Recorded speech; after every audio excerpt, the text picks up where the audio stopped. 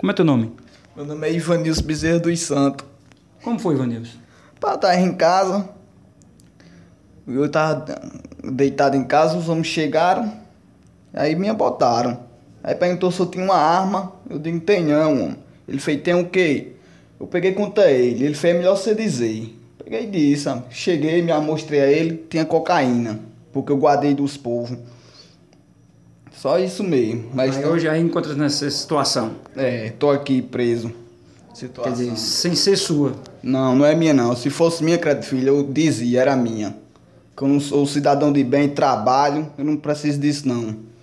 Deu uma bobeira em guardar. Foi, de uma bobeira e guardar. Tem filho Tem dois. Um menino e uma menina. é, e você trabalha. Trabalho. Trabalha em quê? Trabalho de servente. Todo mundo conhece eu aqui dentro do Quais Novo. Trabalhei na Cruz do Novo, todo mundo conhece. Eu. Aí, numa bobeira dessa de guardar droga, se enrola. Numa bobeira real dessa, me enrolei aí, ó. Pros outros.